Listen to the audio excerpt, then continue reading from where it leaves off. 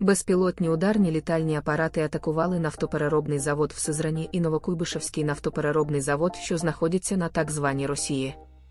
Повідомляється, що на обох підприємствах у Самарській області виникла пожежа після атаки. Губернатор Самарської області Дмитро Азаров підтвердив атаку. На території Сизранського нафтопереробного заводу виникла пожежа в установці з переробки нафтопродуктів. Спроба атаки на нафтопереробний завод у Новокуйбишевську була відбита, заявив чиновник. Безпілотник атакував територію нафтопереробного заводу в Сизрані близько сьомої ранку, і там сталася пожежа на площі 500 квадратних метрів. Пожежу на нафтопереробному заводі в Новокуйбишевську локалізували через півгодини.